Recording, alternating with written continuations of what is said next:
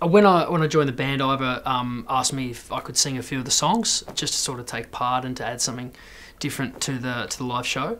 Um, one of those was obviously Man of Colours, and we've been through a couple others over the years. Um, and uh, Touch the Fire is is the one that we're doing at the moment, um, and it's really just a really cool '80s pop rock sort of you know tight pants, big hair type song, really.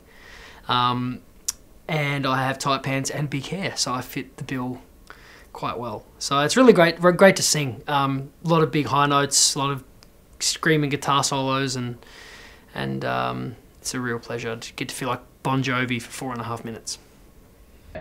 I think actually he's doing a bit of a clearance on this one at the moment. If you want to get on the website and check that out, by the way, I think there's. Uh, he called me and said I need to move 200 of those. So I said, "Don't worry, over. I've got it covered." Touch the Fire just came out as I joined the band, and I love that song. Another one that I use the Les Paul on, um, and I love it. I love the sustain at the start. I think the solo is so well put together. It's got big, fat, chunky chords all the way through it. It's a great song to play, and I think it's a great pop song. And I'm, I'm just surprised. I, I, I really wish, for, for the band's sake, it had a charted higher, because I think it's a great pop song, a great rock pop song.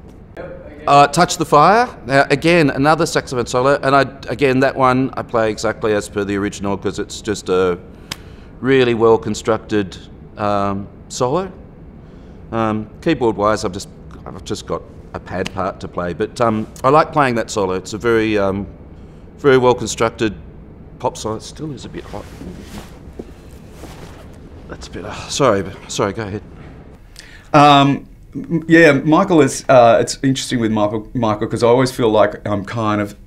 He's he's he's like a, an, an, incredibly um, energetic puppy that you've got to kind of keep pulling in the lead all the time, um, and so. Uh, and also the other thing is his voice is naturally placed in such a high register that there are things in Touch the Fire that he can't sing. So that's, you know, I sing the verses because it's really actually it's below where he's comfortable singing. Um, having said that, he's got this extraordinary high range, and he loves to he, he loves to, to let it loose, um, which is basically what he does. And I actually said to him um, yesterday uh, that I was sitting down and listening because we're working on some mixes at the moment of some live stuff that we did.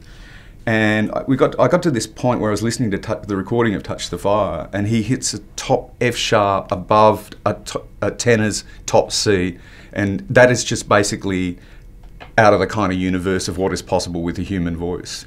And I said to him, "What the hell?" You know, I had no, I hadn't been concentrating that much. When I heard this thing play back and he hit this ridiculous note, I just went, "That's just impossible."